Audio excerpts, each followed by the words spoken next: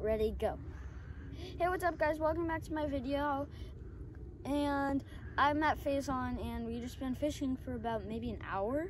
That how long? Two hours. Two hours.